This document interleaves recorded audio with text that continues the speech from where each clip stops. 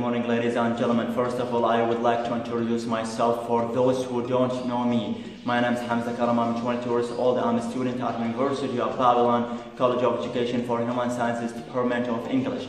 Guys, if you noticed, this is my first video on my new YouTube channel, English Eagle. On this channel, you will find useful information and I'm going to give you some advice or the fastest and easiest ways to learn English.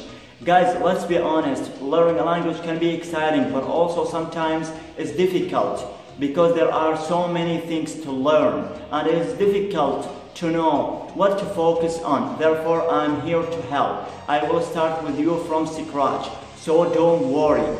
Okay, don't worry. And in this video, you are going to learn the English alphabet. By the way, I'm speaking in English uh, for purpose but I will clarify and speak in Arabic. So stay tuned.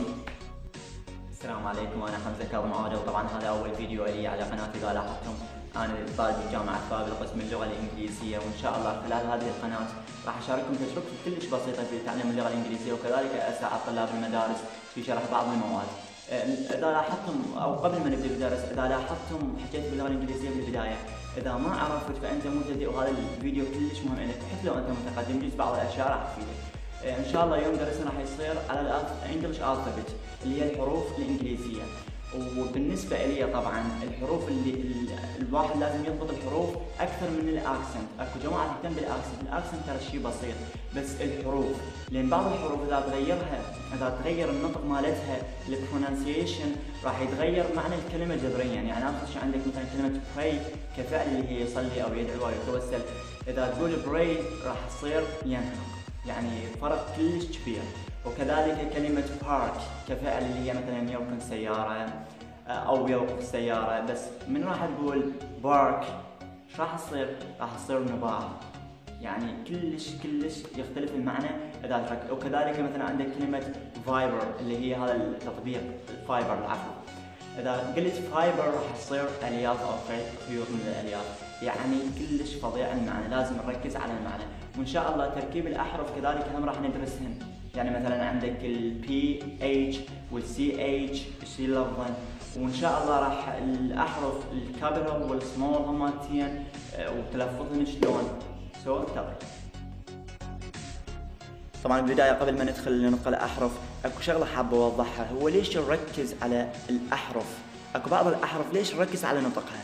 لأن أكو بعض الكلمات بها إذا الحرف تغير راح يتغير معنى الكلمة جذريا. يعني عندك كلمة pray. إذا ما قلت ب قلت ب يعني كب مو ب راح يتغير يعني معناها جذريا. فتصير من يصلي إلى ينهق. كذلك البريطانيين والأمريكان أبد ما يختلفون بالب أو الفا لكن يختلفون ببعض الأحرف بس ما تضرب المعنى عندك مثلا هاي الجملتين we wear uniform. أو we wear uniform. هاي بريطاني وامريكي بس ما اختلفوا بالمعنى اختلفوا في نطق بعض الاحرف اللي ما تاثر على المعنى فاحنا لازم نركز على البا والبا والسا والزا والفا والفا يعني ال V وال F ذن الثلاثه لازم نركز عليها هن شوية ذن الواحد يتخربط فيها هسه ننتقل إلى الاحرف تحتوي اللغة الانجليزيه على 26 حرف خمسه من ذن vowels اللي هن العلل أو حروف العلة ال A وال E O, I, U. Sometimes Y can be used as a vowel. وحرف ال Y آه، أحيانا يعني يستخدم كحرف علة والباقيات 21 حرف اللي هن الأحرف الصحيحة. نجي بداية الأحرف بها capital and small letters. يعني الأحرف الصغيرة والأحرف الكبيرة. لها حالة كبيرة وصغيرة. وبالحاسبة طبعا اللي يشتغل على الحاسبة هو يعرف ال upper case وال lower case يسمون يعني الحالة الصغيرة وال الحالة الكبيرة أو يعني الأحرف الكبيرة والأحرف الصغيرة. نيجي هسه لنطق الأحرف أول حرف A B C D E F G H. H. I J K L L M N O P. P Q R S T U V W. W. X Y Z أو Z. طبعا هسه نجي بعض الملاحظات على بعض الأحرف. مثلا عندك حرف C. يلفظ ك S إذا أجى بعد أحد الحروف اللي هن ال I E Y مثل عندك كلمة city أو cycle أو ice اللي هي جليد. يعني إذا أجى حرف ال C وبعد أحد من الحروف يلفظ ك S وما عدا ذني يلفظ K مثل كلمة clean هسه نجي عندك SH هاي الأحرف المركبة. تلفظ شاء مثل كلمة she ال PH تلفظ F مثل pharmacy physical وبعد اكو هواي كلمات.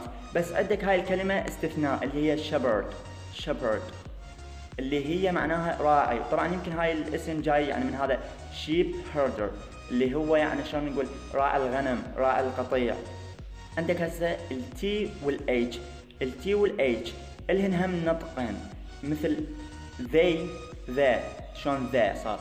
they أو ذا عندك ثا يلفظ كثا مثل كلمة think. وطبعا أكو هواي يعني كلمات تقدر تشوفهم بعدين. عندك C C H طبعا هاي لها أكثر من يعني نطق. عندك مثلا archive يعني اللفظ ككي عندك children children اللفظ ك عندك machine أو شاف طبعا ذني كلمات يعني أكو منهن فرنسية ومن الانجليزي القديم. هسه نجي لتركيبة كل T I O N أو double S I O N أو S I O N يلفظ شن أو بعدهن جن يعني ج مو إش. مثلا description session television. شوف مو شن هنا اختلف هاي بالتلفزيون. التركيبة الأخيرة اللي هي G H T. طبعا كل G إتش تي يلفظ تي كله يعني. كأنه عندك ال G وال H silent يعني صامتة. عندك كلمة fight أو knight الفارس أو night هاي أو والنوب عندك آخر شيء اللي هي الجي اتش طبعا الجي اتش لها أكثر من لفظة. مرة ما تلفظ ومرة يعني تلفظ ك F. مثل عندك كلمة هاي أو كلمة تاف شوف الاختلاف بيناتهم. طبعا أكو هواي كلمات إن شاء الله أوضح أكثر بعد بالفيديوهات القادمة. شكرا جزيلا.